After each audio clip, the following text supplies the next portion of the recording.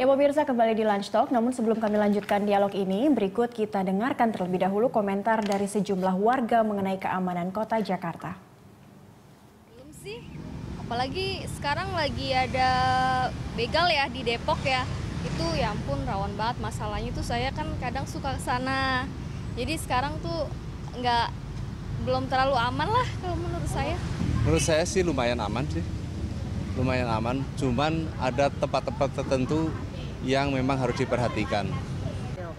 Eh, keamanan Jakarta sudah lebih baik sih saya habis turun dari stasiun Gondang Dia sekarang stasiunnya juga udah mulai aman dari copet segala macam udah nggak ada karena kan sekarang ada tiket yang maksudnya dari gate kan gitu seperti itu.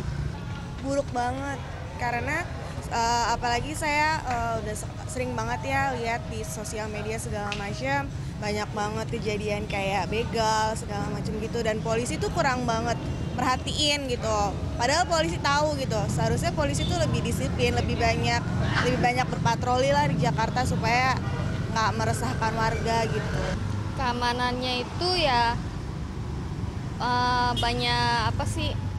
Banyak petugas yang berjaga-jaga aja gitu ya khususnya dari lalu lintas itu kan wajib ya maksudnya harus gitu Tetap menjaga keamanan dengan melibatkan berbagai pihak, salah satu petugas keamanan tentu, eh, Hansip tentu di- di- dilibatkan, masyarakat tentu dilibatkan. Kalau untuk pemerintah sendiri sih kalau dari jalanan sendiri sih masih banyak ya copet-copet, jambret-jambret seperti itu. Ya mungkin eh, kalau dari pemerintahnya sih sebaiknya ada peningkatan sih atau patroli-patroli seperti itu. Eh, lebih pengennya tuh polisi lebih ini aja kalau menurut saya ya kan karena supaya karena kan di sini kan yang menjaga keamanan kan polisi ya polisi lebih kerja lebih apa ya lebih banyak buat perhatiin masyarakat lebih banyak diluasin. Ya pemirsa kembali di Lunch Talk, saya mau ke Pak Yayat dulu nih. Ada tiga upaya yang hendak dilakukan oleh Gubernur Ahok nih sudah diumumin. Di antaranya adalah pemasangan CCTV, Ya. eh, pengaturan pemukiman liar, dan yang Betul. ketiga adalah eh, penertiban preman-preman. Kira-kira ini tiga langkah ini sudah tepat belum kalau menuju eh, ideal livable city yang Anda katakan tadi? Sebetulnya ini lebih mengedepankan sisi pendekatan keamanan. Akar masalahnya di kemiskinan sebetulnya. Mungkin di sini persoalan pendekatan ekonomi dan sosial yang harus didorong. Masalah kalau ada kesempatan kerja yang bagus, ya kan, lapangan kerja yang baik, pendapatan yang bagus, itu tingkat kriminalnya menurun. Nah, ini contohnya di Tokyo lah. Ya. Tokyo kan paling aman di situ. Yep. Pendapatan mereka itu 36 ribu US dollar, Jakarta cuma 9 ribu. Jadi Singapura juga demikian tinggi. Jadi dari survei yang dilakukan itu, itu menunjukkan pada kota-kota di mana tingkat pendapatan penduduknya relatif makin tinggi, itu relatif lebih aman. Nah kita bandingkan dengan Jakarta. Hasil survei BPS mengatakan berapa tingkat kelayakan hidup yang baik buat Jakarta. Rata-rata tahun 2012-2013 itu 7,6 juta Baik. per bulannya untuk suami dengan tiga anggota keluarga Iya. ya. Tapi fakta sekarang UMP Jakarta hanya sekitar 2,4. Layak hidup 7,6 bandingkan dengan 2,3. Nah, ini Sepertiganya. ada ada Hmm, kesenjangan ada yang gap. gap cukup besar ya kan. Di sinilah persoalannya. Itu bagi yang bekerja, bagaimana yang tidak bekerja. Belum tingkat pengangguran Tingkat yang pengangguran. Nah, yang kedua, saya ingin menyoroti sisi pendekatan keamanan tadi. Contohnya misalnya tentang keamanan di public transport. Transjakarta. Dulu waktu bus itu tidak ada petugas keamanan, orang rasanya kelompok gender perempuan tidak berani ketika tidak ada petugas. Sekarang pasang CCTV. Tapi pelecehan sosial tetap terjadi. Nah, yang dibutuhkan oleh masyarakat adalah ketika ada perangkat sistemnya, ada CCTV, ada petugas Kereta udah ada dan gerbong sudah ada nah, wanita. gerbong wanita. Ketika ada kejadian, bagaimana reaksi cepat untuk mengatasi masalahnya itu. Jadi orang sebetulnya merasa ke mana-mana aman ketika kota itu mampu memberikan garansi sistem yang baik. Jadi dalam hal ini yang kita butuh adalah membangun struktur sistemnya. Jadi kita sebetulnya dari struktur yang bagus terbangunlah ur- apa budaya yang bagus. Jadi Jakarta ini sampai sekarang belum punya budaya berkota.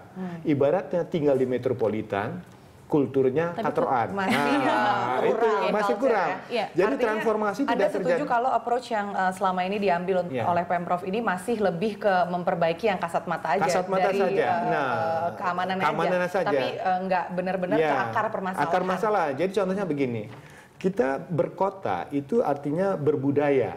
Bagaimana tinggal di kota itu ada namanya peraturan. Peraturan dilarang buang sampah, perda ketertiban, perda keamanan, semuanya ada.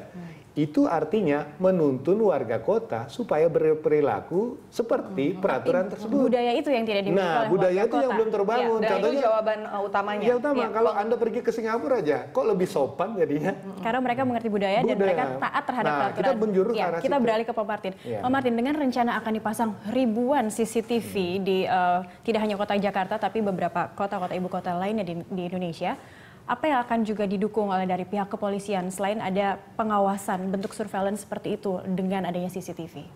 Kalau kami itu menunggu itu. Semakin banyak itu bagi kepolisian semakin baik dan semakin memudahkan pekerjaan kepolisian. Kalau ada satu katakanlah pengutil di uh, ini gerai-gerai apa ya, gerai minimarket itu sudah bisa membantu sekali apalagi ini nanti hampir 2500-an katanya. Itu sangat membantu dan kita tunggu aja pelak- pelaksanaannya, realisasinya. Teknisnya akan seperti apa Pak saat Iya. CCTV itu sudah terpasang, ribuan CCTV itu sudah terpasang kaitannya eh, terhadap tindakan kepolisian? Ya, memang nanti akan tentu akan ada sumber daya manusia yang mengawaki ya. Apalagi kata Pak Ahok uh, akan terkoneksi ke polisi ya. Nah, kita sendiri kan sudah punya sebenarnya di NTMC, tetapi khusus buat jalur-jalur tertentu untuk informasi kemacetan dan sebagainya. Nah, kalau di tempat-tempat semakin banyak nanti kita connect ke situ.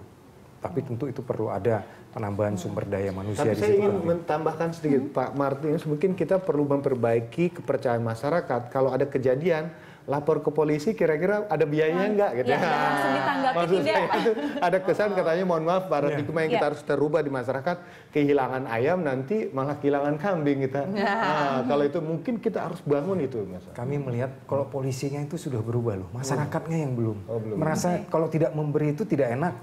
Nah, itu kan Nah, ini kita lucu harus nih. Kembali Ini ke budaya ya, Pak? Padahal Budaya polisinya udah nggak minta, tapi ini penting. Saya saya beberapa nggak kali mengatakan seperti itu, saya ditertawai. Iya, iya. Saya ditertawai dan saya, oh kok berani ngomong begitu? Iya, iya. Saya bilang kita betul-betul, jangan kita dikasih gitu. Iya.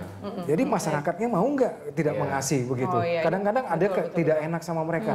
Nah ini kan kita kembalikan saja seperti itu. Iya. Sudah tidak adalah petugas yang bilang mana uangnya, baru saya proses. Mungkin, Tidak ya. akan pernah ada lagi seperti itu. Nah, tapi ini mungkin by product udah uh, kultur Iya, puluhan kultur. tahun, Hmm. jadi mendarah daging, malah kalau nggak enak jadi sungkan, Iya. kalau nggak ngasih jadi sungkan, padahal Jadi- polisinya udah ditegakkan tidak boleh lagi terima. nggak berani ngadu udah nggak usah repot dah. Begitu kecepatan ya udahlah nasib dah.